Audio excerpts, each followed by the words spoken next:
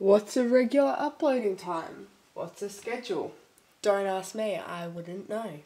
Hi, um, I'm Gemma, and it's been two months since I've posted anything. I apologise, I forgot. In all fairness, I literally forgot. But I'm back from the dead doing another book haul because I buy too many books. So this is February and March smooshed together in this video. Let's go. The first one I've already started reading and holy moly I'm dying. it is American Monsters by Derek Landy and this is the third and final book in the Demon Road trilogy. Holy moly, I love this series so much. I love Derek Landy so much. I've been reading him since I was like nine. Um, for those who don't know, Demon Road is a story about Amber, and you know, she's average. She's a little bit chubby, she's a bit unpopular, um, but her parents are perfect. And one day she finds out that she's a demon, and her parents try and eat her, and it's it's a big mess, but it is so funny, so hilarious, and I hella recommend this series. I'm like 100 pages in, and I'm already like crying at the fact that this is the last book that I ever get to see of Amber and Milo. The next book is This Savage Song by V.E. Schwab. Um, look, I don't really know much about this book, but I believe Peruse Project really loved it. From what I know, it's about a girl called Kate, and she is a bit of an anti hero. She lives in a world where evil deeds become evil monsters. So, they just like manifest into these very real nightmarish creatures. And Kate herself wants to take after her father and become one of these monsters. Whew, how good does that sound? I love anti heroes. They are so interesting because they feel so real. The next is another book that I've actually started reading. Wow, I'm 117 pages in. It is Magnus Chase and the Sword of Summer by Rick Riordan. Now, Bit of an unpopular opinion. I don't really like Percy Jackson. I know, shock horror. I just, I don't. Um, I don't know, like, I, I just don't know. But I love Norse mythology. I possibly love it more than Greek mythology. So I thought I'd pick this up, give it a go. It's at Target for like $12.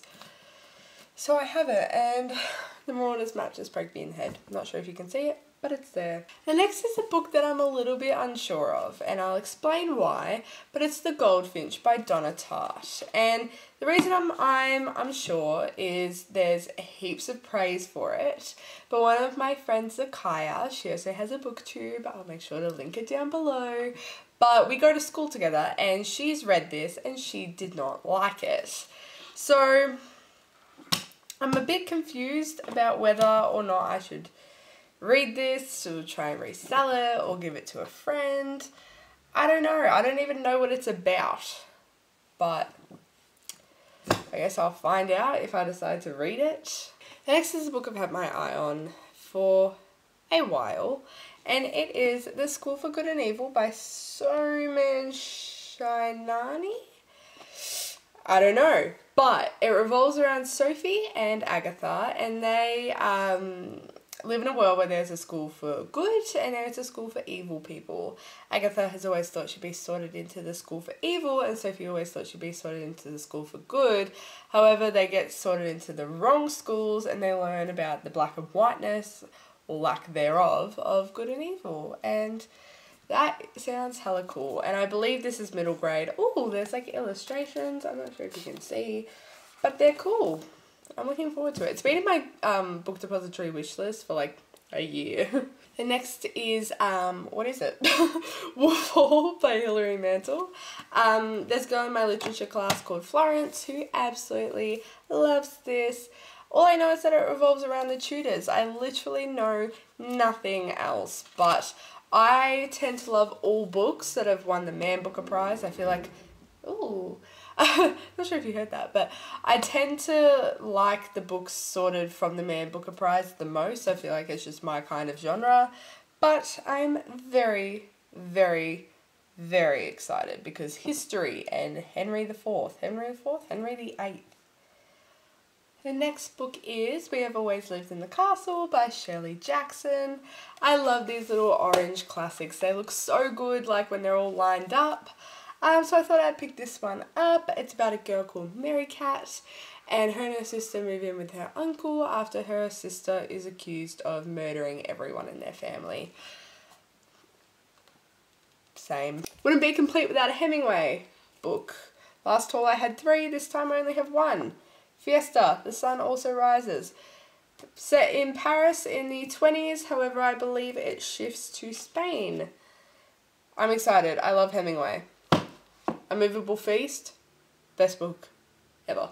The next is The Blinding Knife by Brent Weeks. And for my birthday last year, um, two of my friends, bless their souls, um, bought me The Black Prism, which is the first book in this series, and it's about like people who can control prisms of light, except the more prisms they control, the more it kills them. It's very, it sounds very interesting. I have not read it yet.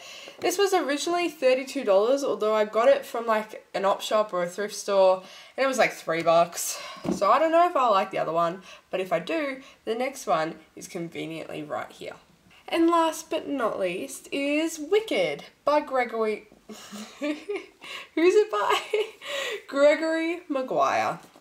So I actually owned this book when I was younger, but I got rid of it. I didn't own this edition, I owned a different edition, but this one's much prettier. And since I unhauled it, I have seen the Broadway and I loved the Broadway. So again, I saw this at the thrift store for $2 and I was like, mm, you're going on my floor.